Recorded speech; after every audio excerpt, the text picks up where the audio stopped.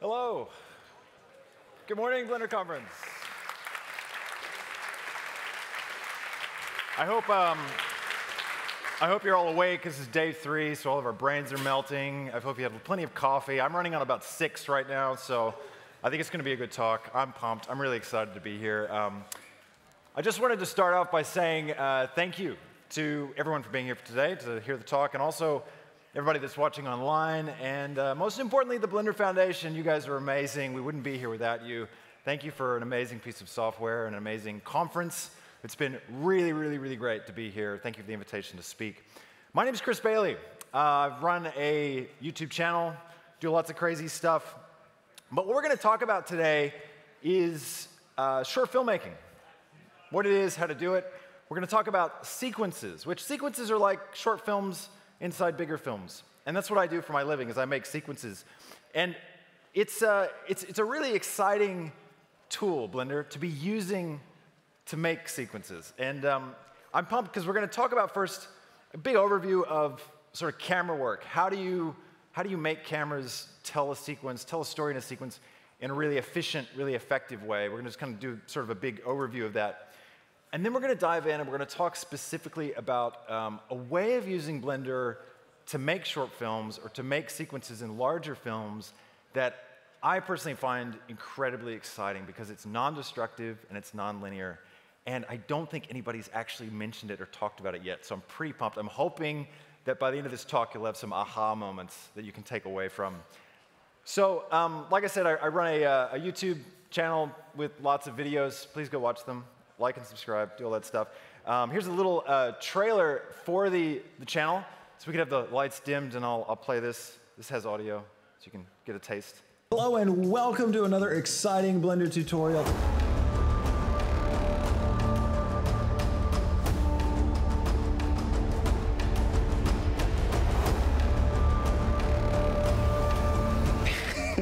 I'm loving it.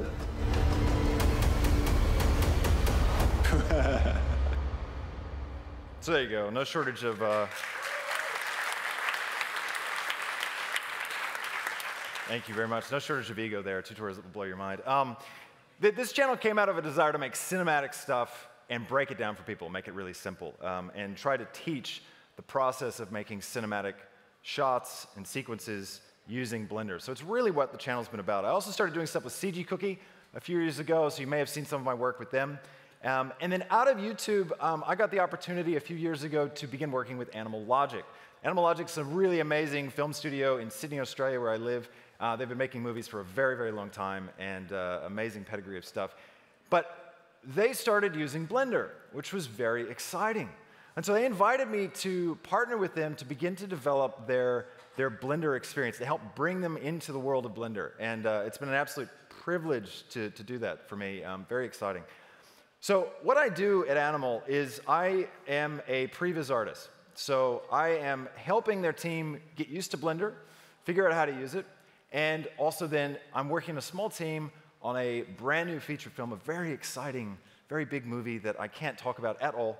Um, and I'm doing previs in that film. And what is previs? Previs is short filmmaking. It's basically taking a bunch of toys, so the assets the art department has been making and putting together the sets and the characters and things, and you get the script, right? And you, and you go and you say, okay, you know, Chris, you're doing this bit. This is your sequence. And so you take this, this section of the script. Sometimes you've got some storyboards to work off of, maybe a rough edit to help you uh, to guide the process. But ultimately, it's up to you to block the characters, do some breakdown poses, some, some key poses for the characters, and figure out where the cameras are going to go and how you're going to tell the story at that point in the movie. It's a really exciting and fun process, but it requires kind of fluidity and a kind of sandbox mentality that is really difficult in animation. But thankfully, with Blender, it's becoming so accessible, so incredibly easy to play. And that's kind of the big focus of what we're going to talk about. It's how Blender enables you to engage in the sandbox of play. Because when you can engage in play, when you're creating sequences, you know, you're set free. So tr traditionally, animation has been brutal. You know, it's, you have to commit to stuff. And if you, you know, make a change later on down the track, it's, it's painful to go back. You know, it's so difficult and expensive and prohibitive. And so when you're doing previs, you know, you really need to be able to, you know, whip stuff up quickly. You got to put a whole sequence together, and then, then we pitch it to the director. And right now, I get to pitch to this director that's like a, he's like a legend. He's a hero of mine, and um, one of those guys with a lot of little gold statues. Very intimidating to talk to. And you present your your, your sequence, you know, and then and then you, you hold your breath and you get the feedback, and and then you go back and you re, retool your sequence and you put it together. And so it's been really fun to use Blender at that level and to be able to present um, present that kind of work um, that, in that kind of environment. Now, with sequences, what I'm going to do is I'm going to talk about um, this short film that I've been making on YouTube. Now, one of the things that I've, I've always wanted to do, and I'm finally getting to do it, is to make a short film from beginning to end live on YouTube. So I've been um, created the story as a tutorial. It talked about how to write, write a story for a short film, and I broke down that process as a tutorial. And then I, and then I started making all the assets, and, and everything's a tutorial. And you can actually go watch this. It's all free. It's all on YouTube. There's a playlist if you can hunt it down. And then what I started to do is animate the film and actually make the film in these live streams and in these uncut recordings. So, like hour long sessions where I'd sit down, pick up the scene, and just go for it. So, the goal is when the film is all finished to have the entire thing documented. So, you can watch, if you're you know, crazy enough to sit down for that long in front of YouTube, you can watch the entire process of making this tiny little short film. So, I've tried to keep it really simple. So, I'm going to use this as our uh, talking point, our case study today. Uh, to talk about these concepts, since I can't share anything about the film that I'm working on, um, but you'll still get the idea. So here's um, a, uh, the first scene of the film, which is finally done. I'm, I'm, halfway through the second scene, and then there's three scenes in the movie, so it'll be done hopefully early next year is my goal. I'm not in any rush to finish this, but let's have a look at this, and, and then we'll talk about the process. So if we could dim the lights again, and uh, we've got some audio.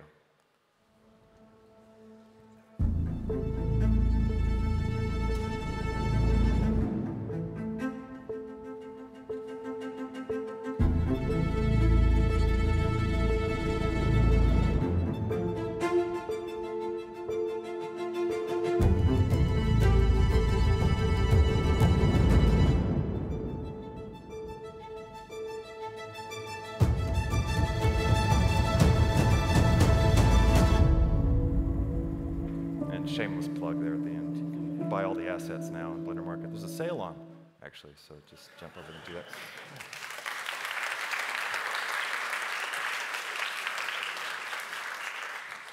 So the first thing I ask when I'm approaching a sequence is, okay, what's the change in this scene and what's the point of view? It's like two of the most important things. There's always a narrative beat change. Sometimes there's two in a sequence, sometimes a few more, but you want to figure out what is going to change in the story. When you pin that down, you got to ask the question, whose point of view do I need to put the audience in? Who do, who's the audience need to be empathizing with and relating to? Those two things inform all the choices you begin to make from that point forward as you sculpt the sequence. Now, what you can see here in the, uh, the short, so the, the point of view that I'm working on in this one is uh, play, back, play, back, back, play. There, that's how it works. Okay, so Sorry, we don't need to watch this one. We'll get to this in a second. So the, the point of view of this sequence that you just watched is the little droid character, the tiny guy, you know, that kind of sneaks off and, and nips off. So I'm thinking about his point of view, and I'm thinking about the key change in this scene, which is the surprise of when the floor opens up underneath him and he, and he drops. So I want to make sure that I capture that beat. You'd be surprised how easy it is to miss the most important beat in your scene when you're putting something together. If you've made a short film or you've you know, directed anything, you'll know that like it's when you first do it, you often get in the edit room and you realize that you forgot to film the most important part of your sequence. So it's actually really important to sit down. I've done this so many times. I've completely missed what matters. So it's really important to make a note of it. Now, here's some, some basic ideas of how to build a good sequence. You want to always ask the question, where is your audience's eye? So your job as a filmmaker is to juggle the eye of your audience. You are playing, you're, you're, moving them around, you're keeping them engaged in the sequence. This is very important, especially in action, when, when things are going really fast. You want to know where your audience is looking. So right now, I know in this shot, my audience is looking there at laser pointer, that guy, right? So I want to make sure that my next shot keeps the focal point, the most important thing, in the same spot on the frame. That means that there's no moment where the, viewer has to search for what they're supposed to look for. And when you're cutting between shots, you know, it's really important that you keep that, you know, consistent so they know where they're at and they don't get lost and they're able to just keep getting that information. So that's super important. Lens variety, another good tip. Change up the size of your lenses. So you start with a wide, you know, you go for like a, uh, you know, like a 14 millimeter or something, and then you, you cut into something a bit closer. You do like a 25 or, you know, and a 50 mil. And keeping that variety is really, really key. Um, it's okay if this one doesn't play, so don't, don't stress. The, um, so yeah, here you can see. So we're cutting in to a, a, tighter lens, you know, and then, and then we cut in a bit wider, and we go to this POV, we're a different size lens, and then we're back to him. So keeping that variety, what that does is it helps your edit to feel a bit more organic, a bit more, um, you don't notice the edit as much. It feels more natural. It jumps, uh, you don't have jump cuts. Cuts don't, don't feel very um, harsh when you're changing up your lens size. Next thing is screen direction. This is, you know, filmmaking 101. You want to keep people in the, your, your subject matter in the, the, same sides of the screen that they belong. So the, the red light here, it's over on the, uh, the right of frame, and then he's over on the left, and he's looking at it. So I've established this is the direction. I want to keep him over here, always now. I want to keep this over here, always. So this lives in the right, this, this guy lives in the left. So if I cut to an over the shoulder of the light, you can see I've kept him in the left and I've kept the light on the right. This keeps everybody oriented in the scene so they don't get lost. If I cut to a reverse, he's still on the same side of the screen. So I'm keeping him there and he's looking where the light lives. The light lives on the, the right side of the screen.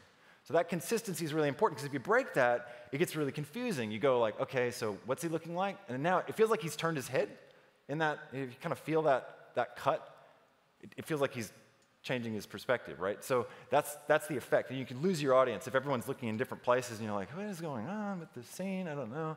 So that's how you can solve that. So screen direction is super important. And then finally, camera movement across cuts. So when, you're, when you've got a camera move, so like a really nice dramatic, um, you know, move, you, you want to make sure the next shot you go to is also moving, okay? And then if that shot, you want to go to a shot that's still, you want to make sure that shot comes to a stop first. Okay, so bring it to a stop, and then you cut to another still shot.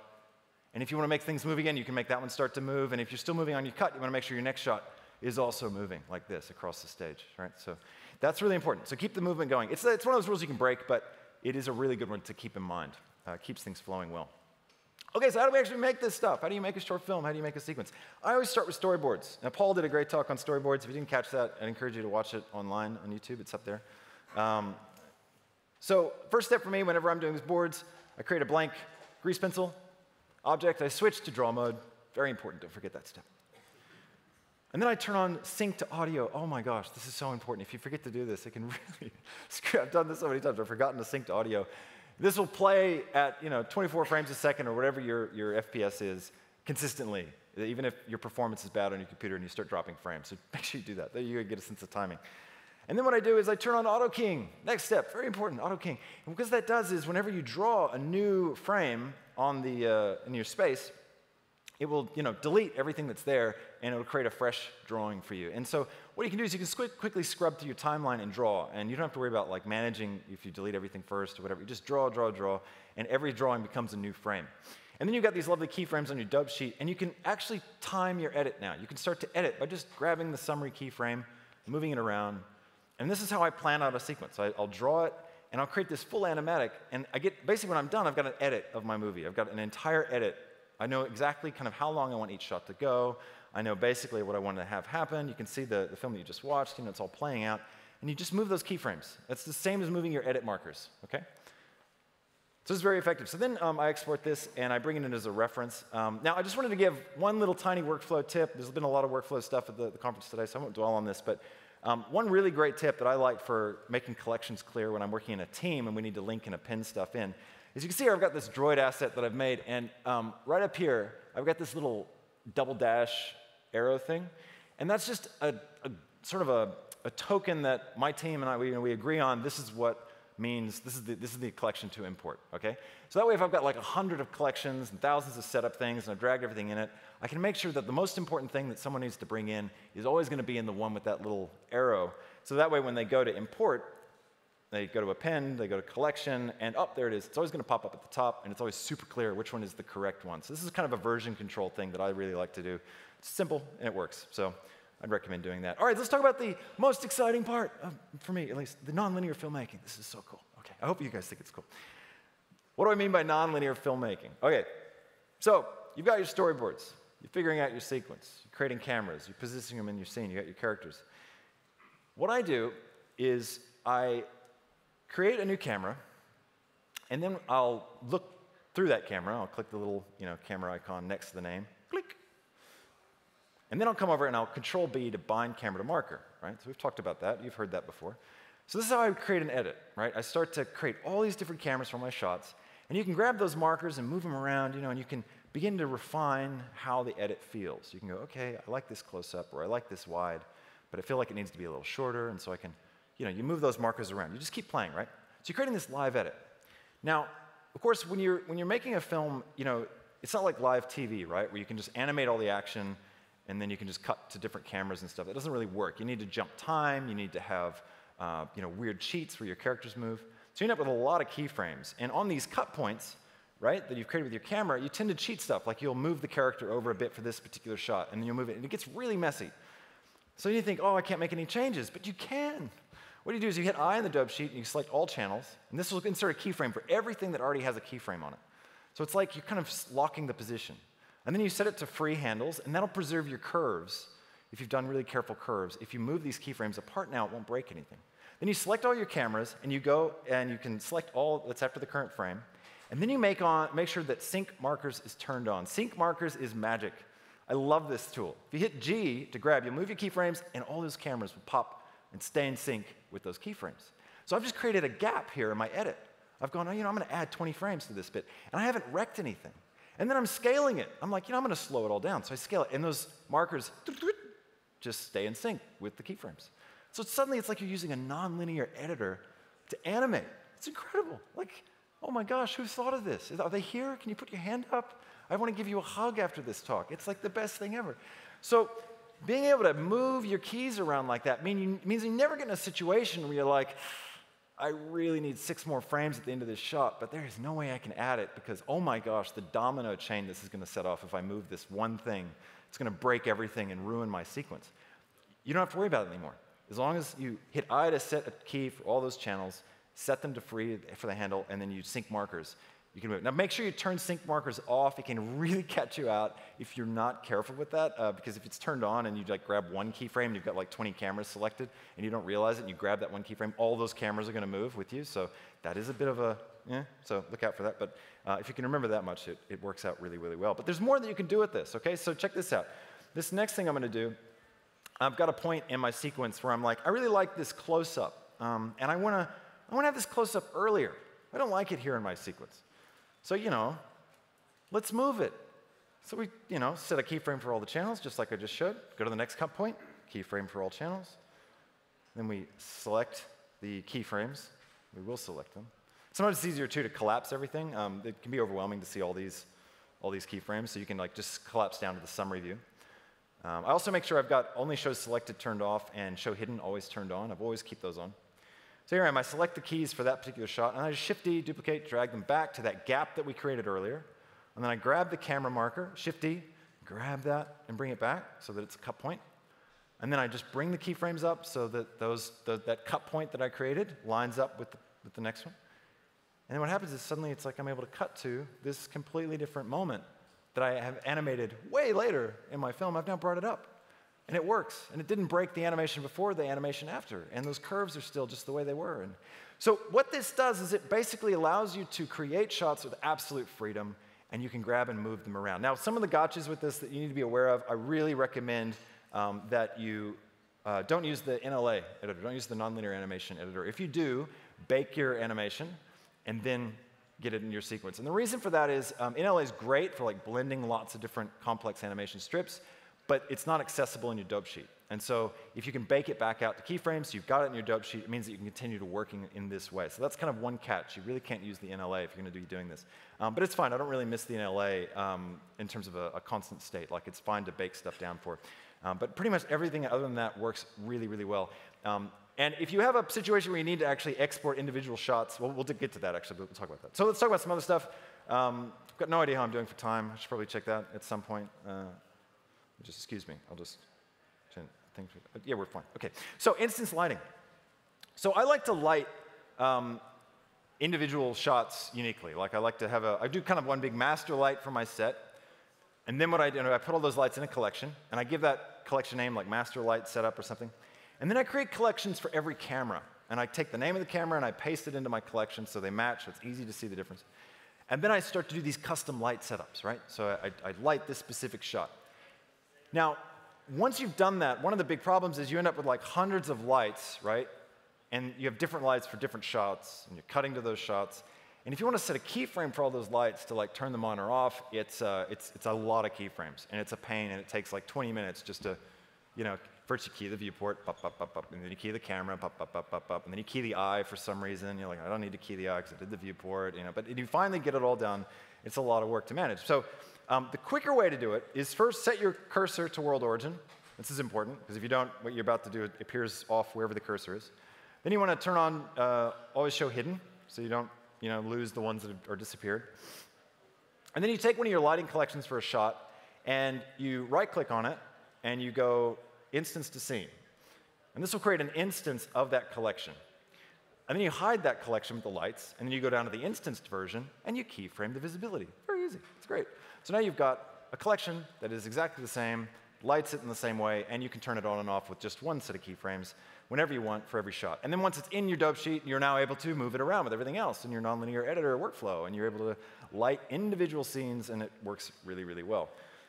So um, if you want to do multiple takes, um, I recommend using scenes, so you can go up and create a multiple, you know, different scene and break it out. You can do a variation. This also works good if you want to export um, individual shots with handles, right? So if you don't want to be restricted by, you've got an edit that works really well, you export it from that, great. But then I also want to do a few of my shots with handles. You can break them out into a master scene. You can just uh, create either a link copy or a full copy, and then delete all the markers off your timeline. You can even delete the cameras out of that, and if it's a full copy, and, um, and just output, you know, from the timeline the specific frames you want for, you know, whatever that shot is, so your editor can do more with it. Or in my case, in this short film, I am the editor, so I'm just keeping the edit in Blender in the timeline as I'm working. Um, and that works really well. This is also important for a motion blur can be a problem on this because if you're doing it this format, you know, if you cut to a different shot and you've got your character over here and then suddenly he's over here because the framing's a bit better, you're going to get a weird motion blur frame. So that's where you would want to break these out and do the handles so you don't end up with those bizarre, bizarre moments. Um, so all of that stuff together really works to make a really fluid, organic process, and it enables you to play. And that's probably the most important thing. And what I wanted to leave you guys with um, as a thought was, you know, very much in filmmaking, it's very similar to in life, right? You, you start out with a goal. You go, I want to make this film. And you got this idea, and you think it's a straight path. Just like in life, you know, I want this job or I want to do this thing with Blender. It's going to be a straight path, right? Sure. Of course not. It's never a straight path. Filmmaking's never a straight path. It's a wandering, meandering path with, with double backs and, you know, splits and dead ends and all this stuff happens. And you have to be willing to embrace that journey. And I think that we overemphasize finishing way too much. Starting is so much more important than finishing, because if you never start anything, you're never going to finish anything. And so I'd encourage you to, to get into Blender and play and get really good at starting things. Because if you can do that, then you're going to have that moment when you do finish something. And you need to create that opportunity and that space for yourself. So try not to discourage yourself from not finishing things and celebrate the starts that you do. And if you start things, like I've started this short film, and hopefully you'll finish it. And hopefully I'll finish this short film and I really hope that you join me for the journey and you uh, come watch it with me over on YouTube as I do it. So check it out. Thank you so much for listening to my talk, and I hope you have a fantastic rest of your conference. Catch me afterwards. Yeah.